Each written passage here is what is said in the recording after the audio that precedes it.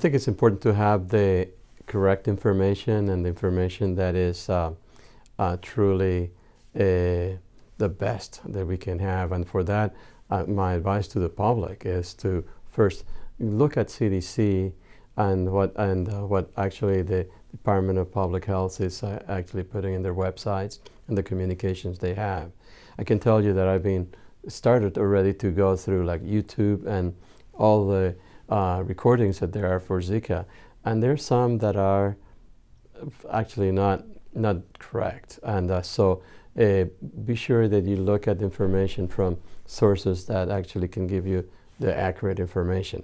Uh, but the other part is uh, if you're in uh, a state or like North Georgia, Georgia, for example, or you're in Minnesota, um, uh, the Aedes aegypti mosquito is not there.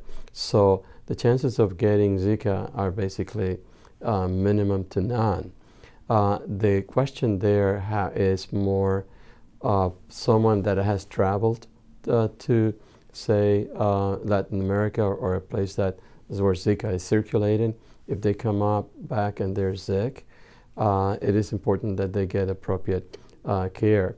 But in the case of if it's your spouse that actually is ill, uh, there are uh, some concerns that there might be sexual transmission of, uh, of Zika, which is not something that is not seen, say, in dengue. Uh, so you need to look at uh, probably having some kind of protection to avoid uh, infection probably for about three weeks. And that's something you need to talk with your doctor.